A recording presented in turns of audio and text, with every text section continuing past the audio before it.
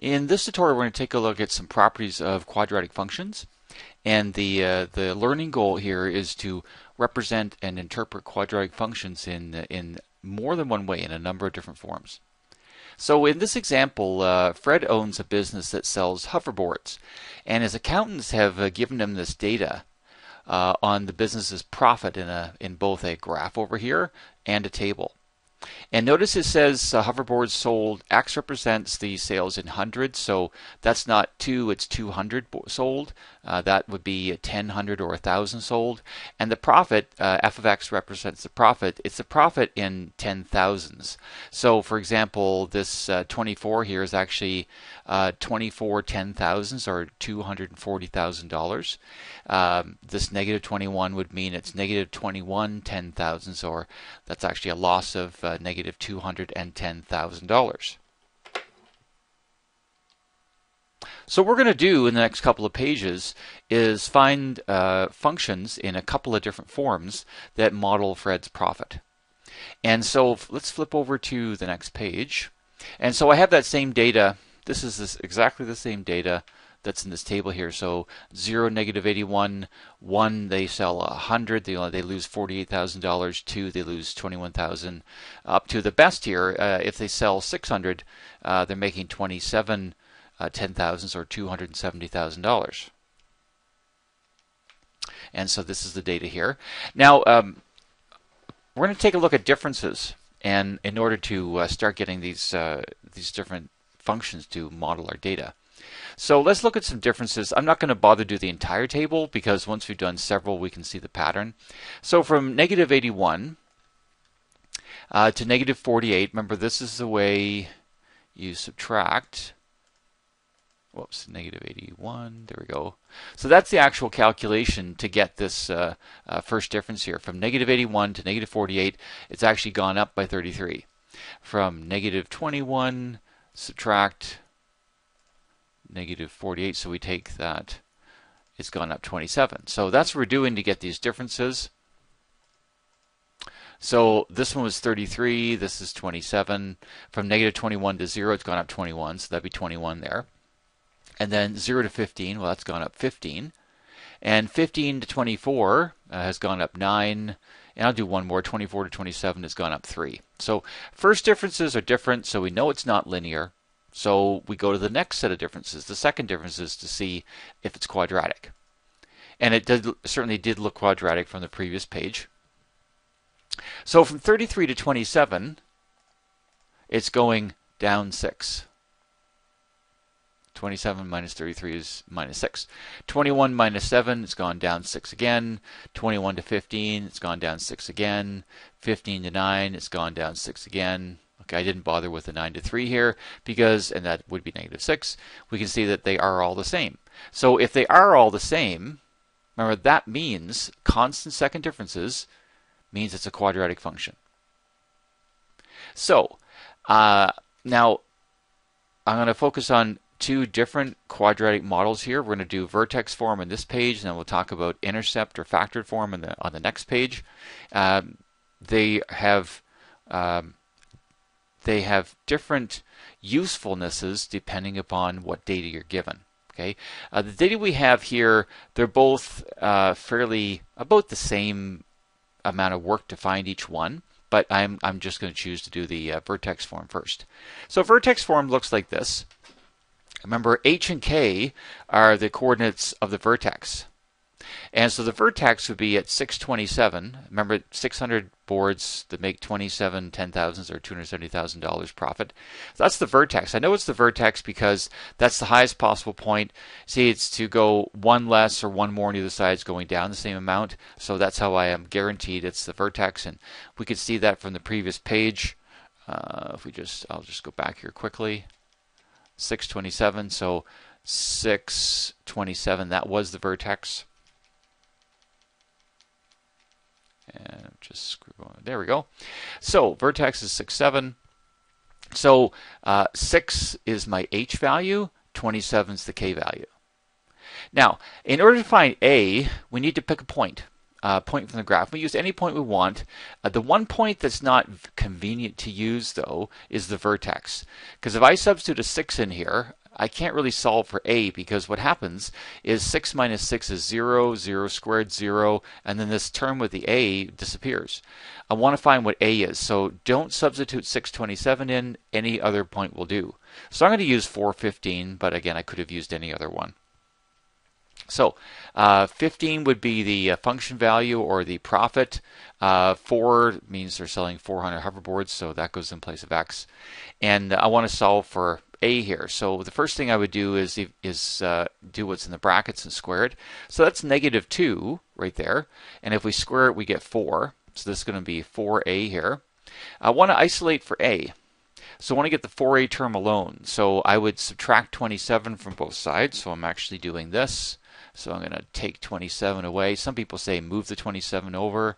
So we're going to subtract 27 from 15. And of course, that's going to be negative 12 equals 4a. And so, so to find a, we divide negative 12 by 4, which gives negative 3. So the uh, stretch factor is negative 3 here, so we can write a negative 3 in place of uh, a here, and then that's the function in vertex form that describes this data. So uh, the uh, vertex is at 627, and of course we can use that to answer some questions. Uh, for example, we could uh, check to see what the profit is for certain amounts. So, like if we wanted to find out, well, let's say he may he sold 550 hoverboards. This is one of the questions on here. We don't have that data. We would expect it's something between the 24 and 27, but where exactly is it? So we could take the uh, equation and plug 5.5 because that would be 550 minus 6 squared plus 27 so it gives us 26.25. And of course, uh, remember that's in tens of thousands of dollars. So we multiply that by 10,000. So if he, they were to make and sell 550, then the profit would be $262,500. So we could use it to answer questions like that. Uh, so that's the vertex form. So on the uh, next page, we're going to talk about uh, factored form. So in factored form, we need the intercept. Some people call this factored form. Some people call it intercept form. And uh, intercept form looks like this. So it's, and some people use a P and a Q here instead of R and S. Those R and S or P and Q numbers are the intercepts at 3 and 9, or it's actually 300 and 900, remember? So if we substitute those, and uh, we're going to use a point again. Uh, I'll, I'll, talk about that in a moment, but I'm going to put my 3 in place of R and 9 in place of S. And in this case, and I want to show uh, also here that I'm going to substitute a different point in. Remember last time I used the point start with a 4. This time I'm going to use the point starts with a 2. This is 2, negative 21 here. Uh, to give it'll give exactly the same a value because this stretch factor here has to be the same stretch factor that we found on the previous page. So I'm going to substitute negative 21 in place of the profit and then 2 would go in place of x here and here and I'm going to solve for a. So the first thing I would do is what's in the brackets? 2 minus 3 is negative 1, and 2 minus 9 is negative 7.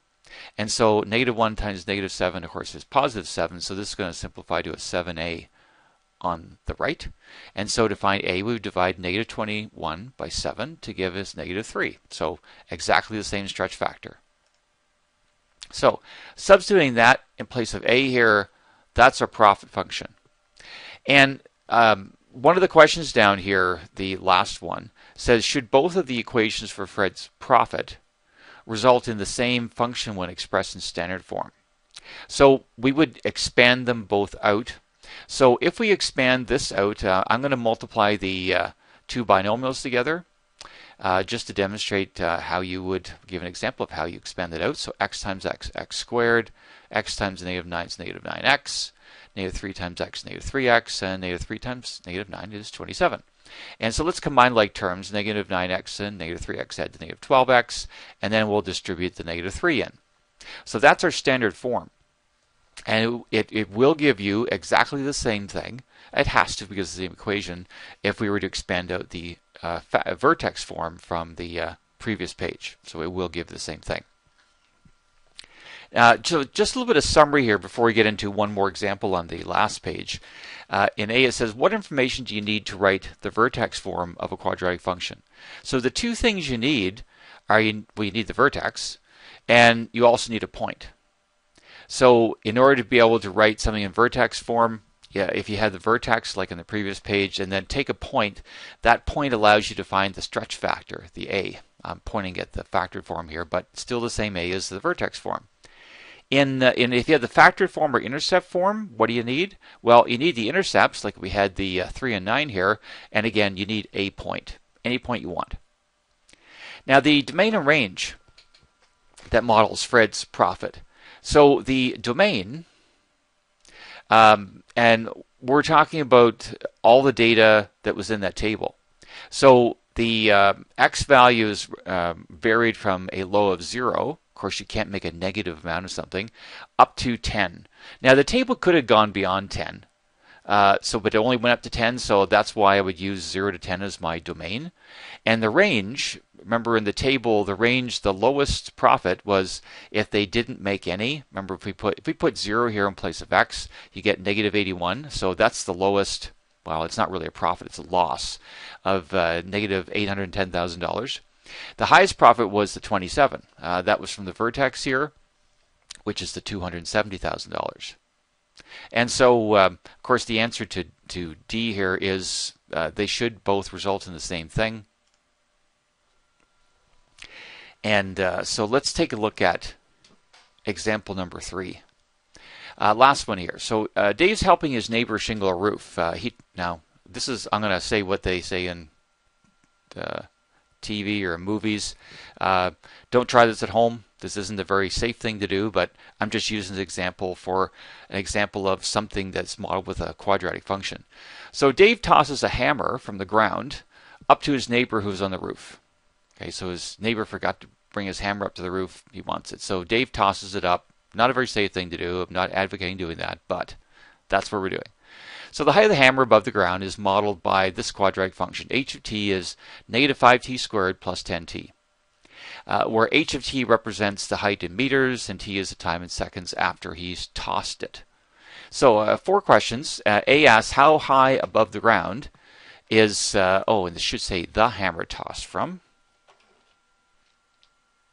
So there we fix that. How high above the ground is the hammer tossed from? Uh, so uh, let's take our equation here. And so there's our equation. Now, when it's tossed is at the beginning of the domain for this function. And the beginning would represent a time of 0. So we would substitute 0 in place of t. So that's what it looks like. So negative 5 times 0 squared plus 10 times 0. At that 0, that's 0, so it all adds to 0. So he must have tossed it from the ground. Okay, it was on the ground when he started to throw it. B asks if his neighbor misses the hammer, when is it going to hit the ground? So, and this all kind of goes together here. It's going to hit the ground when the height is zero. See, now we actually found a place where the height is zero when it was first tossed, and then it's going to hit the ground a few seconds after that. So, so here's our function again.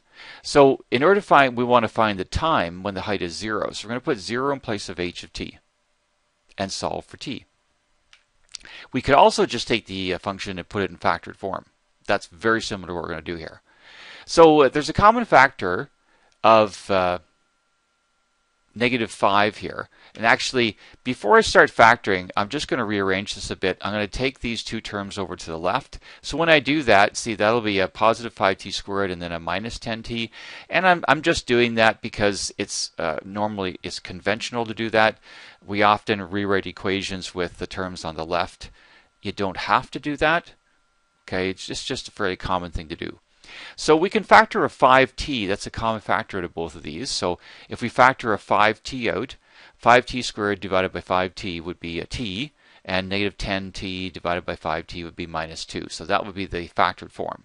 If we set the 5t to 0, so that looks like this. So we would go, in order to find one of the zeros, 5t equals 0, and then divide out the 5